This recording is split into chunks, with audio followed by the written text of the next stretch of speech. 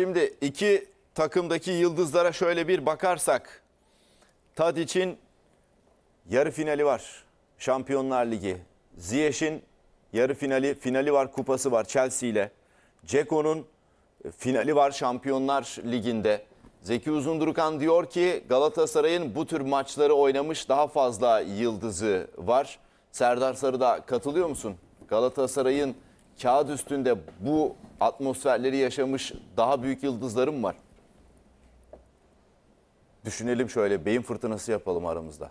Seyirci de bize katılsın. Siz de bize X'te fikirlerinizi yazın. Hangi futbolcu maça damga vurur? Skor tahminlerinizi de yazabilirsiniz. Buradan okuyacağım X'te. Anket de başlatabiliriz. Anketi biraz maç gününe doğru yapalım. Ha, tamam Değil mi? doğru. Çünkü Bence şu maçın- anda kadrolar şekillendi. Tabii. Doğru söylüyorsun. Oynarsa Fred maçın adamı, adamı e, diyebileceğim isimlerden biri olur. Bu güzel. Fred maçın adamı olabilir diyor. Hırslı çünkü.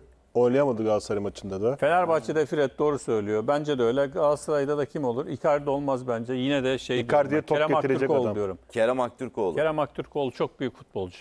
Allah nazarlardan saklasın. Bence e, Ferdi Kadıoğlu ile birlikte Türk futbolunda şu anda en formda ikinci Türk oyuncu Kerem Aktürkoğlu. Değil mi? En değerli iki oyuncumuz Evet, şu anda ikisi- Süper aynen. Lig'de oynayan Türk oyuncular Kesinlikle. içinde. Kesinlikle. Yürekleriyle oynuyorlar. Aktürkoğlu. Performansları hep iyi. Evet.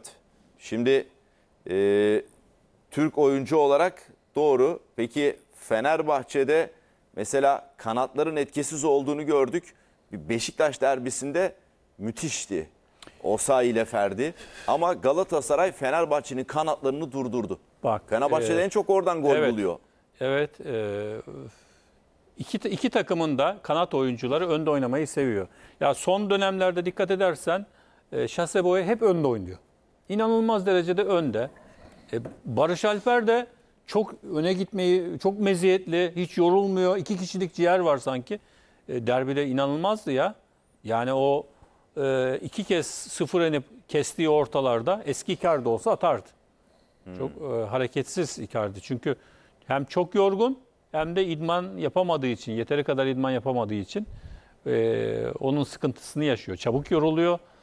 E, yani Osayi Samuel de Ferdi Kadıoğlu da e, sanki o kanatlara birer tane ray döşemişler hızlı tren gibi gidip geliyorlar sürekli.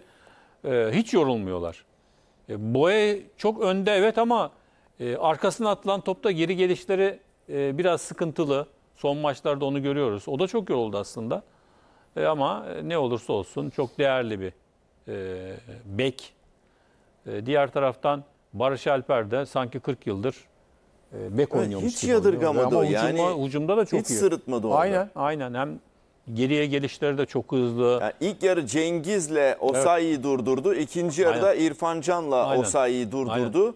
Fenerbahçe hiç oradan etkili olamadı. Osayi ile girdiği ikili mücadeleleri de kazandı. O iki, iki kez sıfır inip kestiği ortada. İkisinde Evet. de Osayi'yi geçip ortaladı. Yani e, ben şaşırdım hatta nasıl geçti. Bir ara Ünal Karaman öyle e, futbolculuğu döneminde öyle yapardı. İnerdi sıfıra orta keserdi.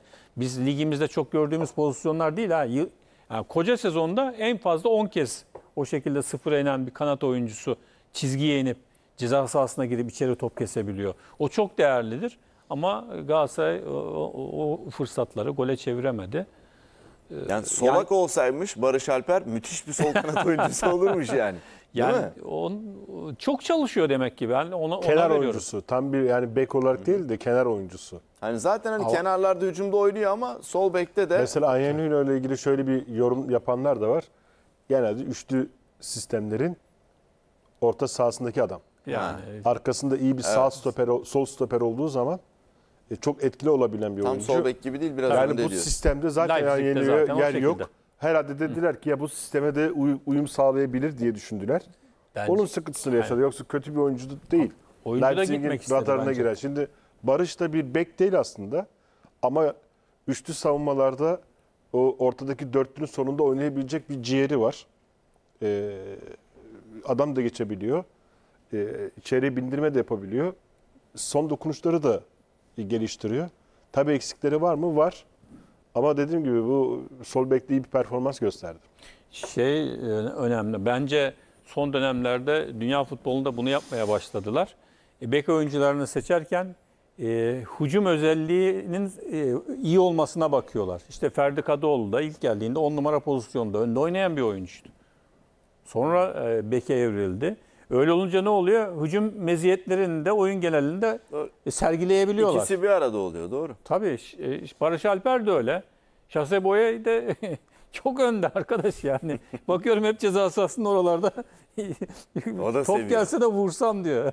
Peki- Bazen vuruyor savunmaya çarpıyor ama Kalecileri kıyaslayamadık. Kalecileri şeyde, kıyaslayamadık, e, evet. Ligdeki derbide ölçecek bir pozisyon olmadı. Yok, oldu Olmadı. aslında. Ben hala o pozisyonda Hangisi?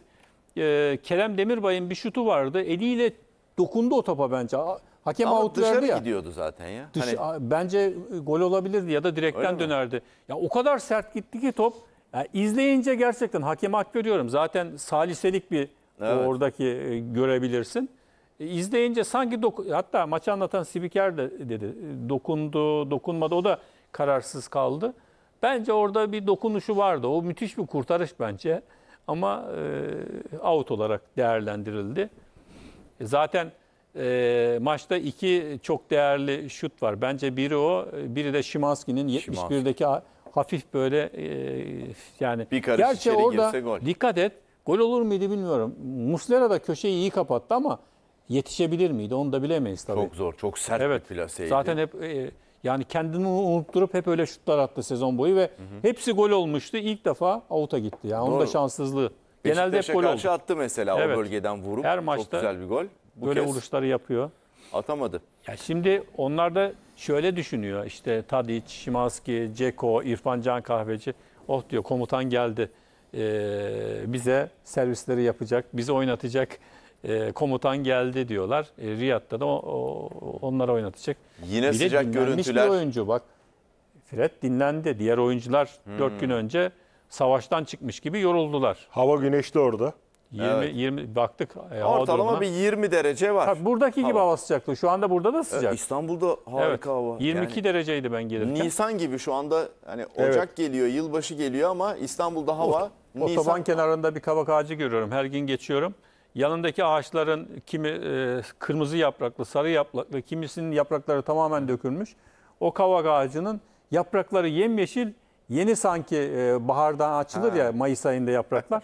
Öyle yani çekemiyorum da çünkü araba kullanırken nasıl çekeyim ama hep dikkat ediyorum nasıl bir şeydir yani. Yanındakiler tamamen e, yapraklarını dökmüş ya da dalında kırmızı sarı yapraklar.